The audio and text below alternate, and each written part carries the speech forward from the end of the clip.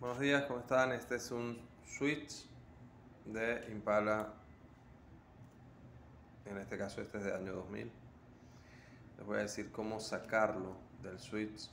Él tiene, él va así, el tablero. Tiene estos dos tornillos. Debajo, él tiene este huequito. En ese huequito hay que meter un destornillador y tienes que meter la llave. Cuando metas la llave, la giras a on, la giras a on y cuando la giras, él te da la opción de sacarlo, ¿entiendes? En este caso yo lo tengo en la mano, pero tú lo puedes tener en el carro metido. Ahí presionas en este huequito y luego lo jalas. Bueno, estaba abierto fue que lo cerré.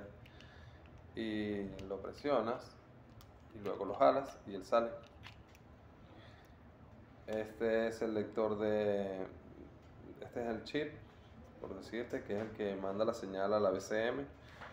Aquí adentro tiene eso tiene el conector donde conecta este, este chip que ven aquí.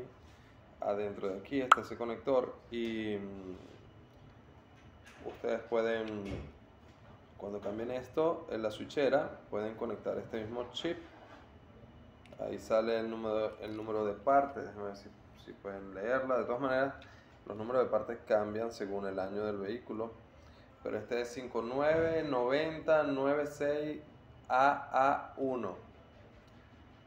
Luego debajo tiene otro número que es 9286 y debajo dice México.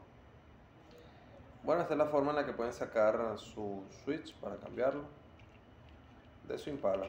Para ponerlo igual, tiene que estar la llave abierta. Eh, tiene que estar la llave abierta.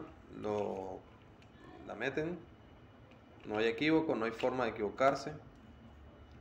Y ella tranca.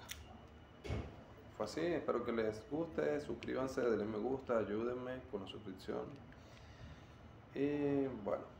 Cualquier cosa me preguntan.